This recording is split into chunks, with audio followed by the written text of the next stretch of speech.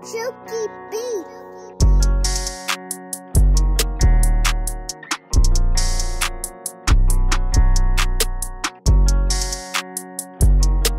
Oppo Find N two Flip जो दो दिन पहले ही लॉन्च हुआ है। Fast refresh rate AMOLED display new compact design flexible processor 50 megapixel dual camera setup fast charging and many more दोस्तों, आज मैं Oppo Find N two Flip का अनबॉक्सिंग और फ़र्स्ट इंप्रेशन बताने वाला हूँ, जो हाल ही में लॉन्च हुआ कॉम्पैक्ट फ्लेक्सिब फ़ोन है। मेरा नाम मिलन है और आप देख रहे हैं टेक स्ट्रीट और जैसे कि आपको पता है लेटेस्ट न्यू अपडेट सबसे पहले हमारी चैनल में देखने को मिलते हैं। तो ऐसे ही लेटेस्ट न्यू अपडेट सबसे पहले देखने के लिए और अगला गिव हुए देखने के लिए सब्सक्राइब करके बेल आइकन को दबा के ऑल कर दीजिए और हमारी टेक टीम को ज्वाइन कर लीजिए ताकि आपको लेटेस्ट और सम टेक अपडेट की नोटिफिकेशन सबसे पहले मिल सके, जैसे हम नया वीडियो अपलोड करते हैं। तो ये है Oppo Find N two Flip का बॉक्स बॉक्स के प्लास्टिक को रिमूव कर लेते हैं। बॉक्स के ऊपर फ़ोन की ब्रांडिंग मिल जाती है और साथ में हेजल प्लेट का भी ब्रांडिंग मिल जाता है। बॉक्स के लीड को ओपन कर लेते हैं तो यहाँ पे ड्रोवर ऊपर की तरफ़ उठता है। तो बॉक्स काफ़ी प्रीमियम देखने को मिल जाता है। फ़ोन को थोड़ी देर के लिए साइड में रखते हैं और बाकी का बॉक्स कॉन्टेंट देखते हैं। तो ये है 67 वोट का पावर एडेप्टर और यहाँ पे टाइप सी आउटपुट नहीं मिलेगा। और ये है डेटा केबल और इस कार्डबोर्ड बॉक्स में देखें तो फ़ोन का प्रोटेक्टिव केस मिल जाता है जो टू सेक्शन में मिलता है और ये हार्ड प्लास्टिक से बना है। फ़ोन के प्लास्टिक को रिमूव कर लेते हैं और बात करते हैं फ़ोन के डिज़ाइन और बिल्ड की। सबसे पहले फ़ोन यहाँ पे पर्पल कलर में मिल जाता है। इसके अलावा black and gold colour option भी मिल जाएँगे। फ़ोन का बैग साइनी ग्लास का बना है और ये गोरिला ग्लास फाइव से प्रोटेक्टेड है। फ़ोन का अपर पार्ट देखे तो यूज़ आउटर डिस्प्ले मिल जाती है। मेन डिस्प्ले देखे तो अभी तो यहाँ पे क्रीज देखने को नहीं मिलती है। लेकिन लाइट कंडीशन में देखे तो स्लाइटली ही देखने को मिलती है ये क्रीज बाकी फ्लैट स्क्रीन ही मिल जाती है। दूसरे फोल्डेबल फ़ोन के कंपेयर में यहाँ पे बहुत ही कम क्रीज देखने को मिलती है। तो चलिए फ़ोन का फ़र्स्ट टाइम फोल्ड करते हैं। वैसे वर्टिकल फ्लिप फ़ोन और यूज़ स्क्रीन फोल्ड फ़ोन में काफ़ी डिफरेंस मिल जाता है। जैसे कि फोल्ड फ़ोन में बड़ी एक्सटर्नल स्क्रीन मिलती है। तो आप कोई भी एक्शन फ़ोन को अनफोल्ड करे बिना ही कर सकते हैं। लेकिन फ्लिप में ऐसा नहीं है। फ्लिप में आपको एक्शन करने के लिए फ़ोन को अनफोल्ड करना ही पड़ेगा। अब यहाँ पे फ़ोन की डिज़ाइन देख लेते हैं।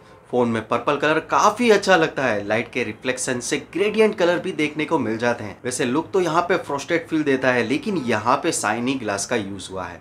बैक पे देखे तो ओप्पो का ब्रांडिंग मिल जाता है और यहाँ भी हैजल ब्लेड का ब्रांडिंग देखने को मिलेगा। फ्रेम देखे तो यहाँ पे फ्लेट मिल जाती है, लेकिन लेकिन फ्रंट और बैक ग्लास देखे तो स्लाइटली कर्व्ड मिल जाता है।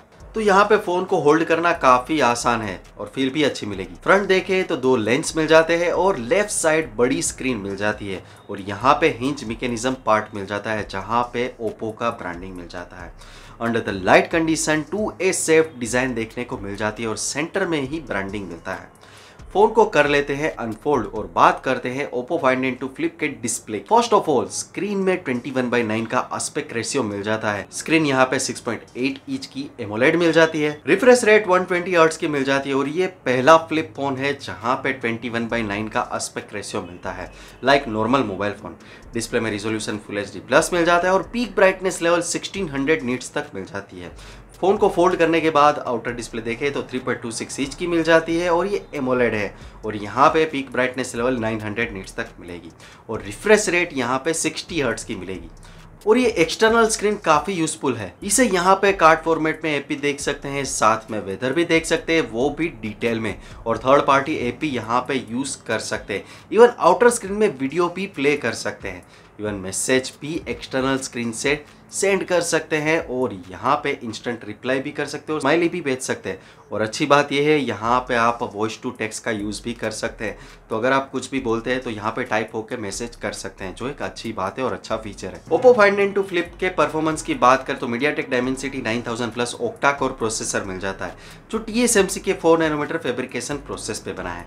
Max clock speed three point two की मिल जाती है। RAM L P D R five मिलेगी और storage U F S three point one मिल जाता है। परफॉर्मेंस तो अच्छा ही मिलेगा क्योंकि फ्लेक्सिब प्रोसेसर मिल जाता है। लेकिन यहाँ पे मैं गेमिंग एक्सपीरियंस भी बताने वाला हूँ, जो डिटेल रिव्यू के वीडियो में बताऊँगा। Oppo Find N two Flip में कैमरा की बात करें तो मेन कैमरा 50 मेगापिक्सल का मिल जाता है। यहाँ पे ओआईएस का सपोर्ट नहीं मिलेगा।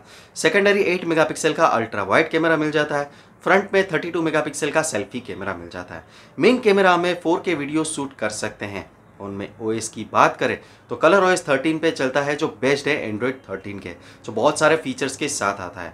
Oppo Find N two Flip में बैटरी की बात करें तो 4300 mAh की बैटरी मिल जाती है जो एवरेज यूज़ पे एक दिन आसानी से चलेगी। बैटरी को चार्ज करने के लिए 44 वोट का फास्ट चार्जिंग सपोर्ट मिल जाता है। फ़ोन में वायरलेस चार्जिंग सपोर्ट नहीं मिलेगा। Oppo Find nine two Flip की बेस वेरियंट की प्राइस की बात करें तो, तो इंडियन रुपीज़ में करीब 95,000 से शुरू होती है। कंक्लूजन पे आए तो फ़ोन में डिस्प्ले काफ़ी अच्छी मिल जाती है कॉम्पैक्ट है एक्सटर्नल स्क्रीन यूजेबल है परफॉर्मेंस अच्छा मिलेगा कैमरा के बारे में डिटेल रिव्यू के वीडियो में बताने वाला हूँ, जहाँ पे सैंपल्स भी दिखाने वाला हूँ। अब देखना यह है कि इंडिया में कब लॉन्च होता है और कौन सी प्राइस में आता है। दोस्तों, आप क्या सोचते हो? Oppo five nine two Flip के बारे में कौन सा फीचर आपको अच्छा लगा? और कौन सी प्राइस में इंडिया में आना चाहिए, मुझे कमेंट सेक्शन में ज़रूर बताएँ। और दोस्तों, ऐसे ही लेटेस्ट न्यू अपडेट सबसे पहले देखने के लिए और अगला की हुए देखने के लिए सब्सक्राइब करके बेल आइकन को दबा के ऑल कर दियो हमारे टेक टीम को ज्वाइन कर लीजिए, ताकि आपको लेटेस्ट और टेक अपडेट की नोटिफिकेशन सबसे पहले मिल सके, जैसे हम नया वीडियो अपलोड करते हैं। तो दोस्तों, मिलते हैं अगले लेटेस्ट अपडेट के साथ। तब तक के लिए thanks for watching watching. Have a great day and keep smiling.